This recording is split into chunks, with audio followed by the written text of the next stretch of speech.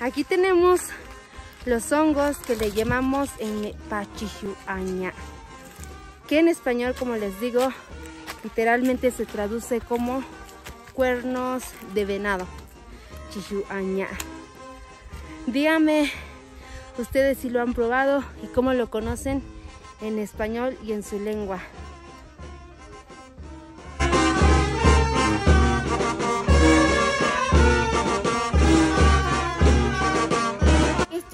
Los hongos que se comen aquí en la montaña de Guerrero. Estos hongos los podemos probar en caldito, en caldo rojo saben de lo mejor. Y vean, vamos a sacar este, está en, en la tierra, vamos a sacar. Díganme si ustedes lo han consumido alguna vez. Lo comemos en caldo rojo y es lo mejor de lo mejor, sano, nutritivo y se da aquí en la montaña.